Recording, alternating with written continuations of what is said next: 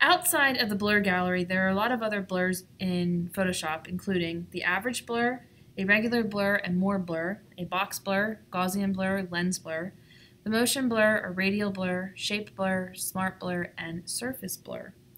We're not going to cover these now because they would take way too long to cover in detail, but with that said, do know that they are all applied in relatively the same manner as the blur gallery filters that we just covered.